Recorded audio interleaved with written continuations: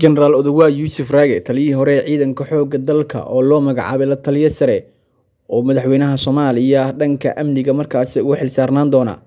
xog horle oo la helay. Sababta xilligan odawaa xilkaasi loogu magacaabayo dadka sida gaarka uga shaqeeyey rabitaankiisa gaarka arrintan inuu aqbalayo in kale ayaan kugu soo gudbin doonaa muuqaalkan gaarka ah. Xogta ugu dambeysay ee dagaalada iyo sidoo kale qorshaha jenaraalka waan kula wadaagi doonaa ee muuqaalka leeg saar shargarey meel fog gaarsiya qeybna ka noqo saaxiibada nagu xiran ee halkan xogaha ka hela. Waxaan si gaara ku xusuusinaynaa in iyo sheerta muhiim ay noo tahay leeg la dhac muuqaalka oo leegta hala dhaafin. Waa hagaagaynu ka horeyno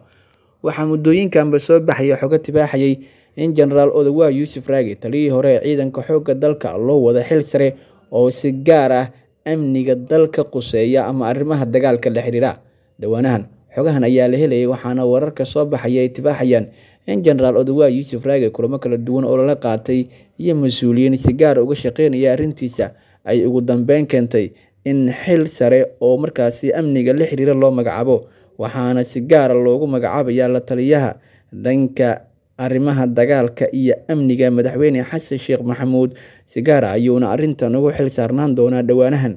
Dhowr jeer oo hore ayaa loo qalqaaliyey xilal kala duwan waxaa mar la isku dayay in laga dhigo madaxa howlgelinta ciidamada balse waa uu ka biyo diiday oo waa uu diiday in go'aano uu qaato ama uu ka soo muuqdo jiidaha dagaalka. Marka laga tago inuu tegay qaar ka mida furmaha dagaalka oo ciidamada halkaasuu ku bogaadiyey odawaa yuusuf raage oo ah nin dhalinyaro ah muddo dheerna ku dhex jiray ciidanka xoogga dalka ayaa mar kale ka soo dhex muuqanaya hadda qorshaha labaad ee dagaalka. Muddo laba bil gudahood ayaana loo qabtay inuu ku soo afjaro shabaabka ku sugan gobollada hiiraan shabeellaha dhexe galgaduud iyo mudug oo la isku yidhaahdo galmudug iyo hirshabeelle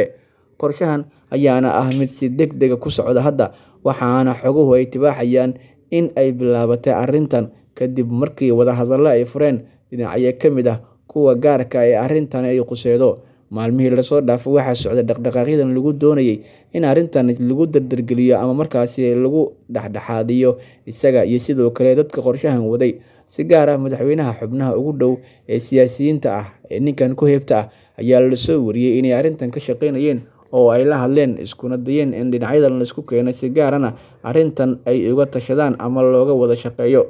Muddooyinkii ugu dambeeyey xogaha la helayay ee odawaa yuusuf raage oo nin dhallinyaraha la xiriiray ayaa waxa uu ahaa in looga baaqsan waayo dagaalada socda kadib markii la soo wariyey in al-shabaab ay bilaabeen waxyaabo ka baxsan wixii hore iyada oo qaar ka mid a saraakiishii uu hore u maamulayay jenaraal odawaa yuusuf raage lagu eedeeyey in ay diideen inay amare ka qaataan taliyaha cusub ee ciidanka xoogga dalka. Kaasi oo ku dhowaad shan bil shaqeynaya balse weli aan waxba ku soo kordhin ciidamada xoogga dalka. Marka loo eego shaqadii jenaraal odawaa uu ka dhex qabanayay ciidanka ee hadda u muuqda in gawaabsi markaasi uu yahay jenaraal odawaa yuusuf raage ayaa waxa uu ku jiraa marxalad kale waxaana hadda loo qaatay in dagaalka uu hago uuna noqdo bartilmaameedka ugu weyn ama ninka looga geed fadhiisanayo oo looga dambeynayo dagaalada iyo howlgallada socda. Isaga iyo bariise ayaa noqon doona labada xubnood oo madaxweyne xasan sheekh maxamuud uga dambeyn doono dagaalada socda maadaama bariise laga dhigay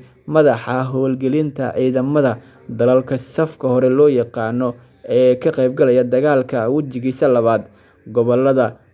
dhaca koonfurta soomaaliyana howlgalka ka sameynaya si gaara ayaa loo qorsheeyay arrintaasi waxaana mar kale dhanka gobollada dhexe ee dalka howlgalka ka socda loogu xilsaaray jenaraal odawaa yuusuf raage isaga oo markan noqonaya mid ka mid a xubnaha ugu cadcad ee shaqooyinka adag ka qabanaya gudaha ciidanka xoogga dalka kadib markii looga maarmi waayo howlgallada hadda socda sida xogaha aynu helaynaba ay tibaaxayaan. Qaar ka mid ah dadka sida gaarka arrintan inuga soo xiganay ayaa waxa ay wariyeen in jenaraal odawaa yuusuf raage maalmihii la soo dhaafay ay socdeen wadahadallo u dhexeeyay isaga iyo xubno ka socda madaxtooyada soomaaliya. Madaxweyne xasan sheekh maxamuud ayaa ka hor inta uusan dalka dibaddiisa u ambabixin markii uu ka soo laabtay magaalada dhuusamareeb waxa uu kulamo goonigooniya la qaatay xubnaha sida gaarka loogu tiriyo in ninkan ay ka agdhow yihiin waxaana la soo wariyey in kulamo dhacay oo kala duwanaa. Ugu dambeyn laisla afgartay xoga soo baxaya ayaana tibaaxaya in jenaraal odawaa yuusuf raage hadda uu noqonayo mid ka mid a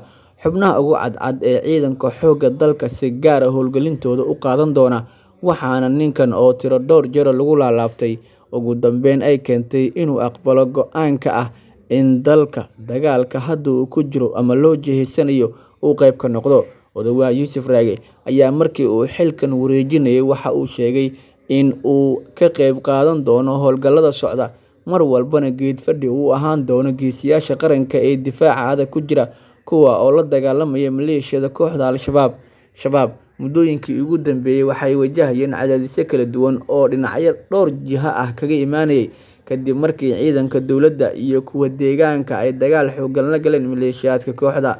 Waxaa sidoo kale soo tarayay in dowladda soomaaliya ay waday ama dadaaladii ugu dambeeyey oo dagaalkan lagu horumarinayo kaa oo ka dhana maleeshiyaadka kooxda al-shabaab. Qorshaha horumarinta ciidanka xoogga dalka ayaana socda waxaana wararka soo taraya ay tibaaxayaan inay tahay qorshihii ugu dambeeyey ee lagu horumarinayo ciidamada xoogga dalka iyada oo markan meelo kala duwan ay isugu tegayaan mas'uuliyiinta gaarka ah ee looga tashanayo arrintan in ay markaasi dardargelin karaan. Gobolada gaarka ah ee howlgallada ay ka dhacayaan iyo goobaha sida gaarka ah loo howlgelinayo ayaa waxay u muuqdaan kuwo kale oo ka baxsan waxyaabaha sida gaarka hadda loo daneynayo ama loo qorsheynayo in la sameeyo jenaraal odawaa yuusuf raage ayaa waxa uu wadaa qorshihii ugu dambeeyey ee ku aadanah sidii loo horumarin lahaa howlgallada socda ee dalka. Markaasi looga saaraya maleeshiyada kooxda al-shabaab waxa uu ahaa taliyihii ciidan ee bilaabay howlgalkan isaga oo kaashanaya hogaamiyihii hore ee gobolka hiiraan cali jeete cismaan. Waxa uu dhowr meel oo kala duwan ka saaray maleeshiyada kooxda al-shabaab oo uu kula dagaalamay. Ugu dambeyn waxay keentay in halgankii uu soo waday markii uu tuhun iyo shaki yimid uu iska casilay xilka ama uu dalbaday in laga wareejiyo oo la keeno taliyo cusub. Dhowr jeer ayaa lagu laalaabtay ninkan oo la isku dayay in loo celiyo jagada balse waa uu ka biyo diiday waxaana ugu dambeyn ay ku biyo shubatay arrintu. Odawaa yuusuf raage ayaana hadda wada qorshaha sida gaarka ah dagaaladan lagu horumarinayo oo dalka looga saarayo maleeshiyada kooxda al-shabaab.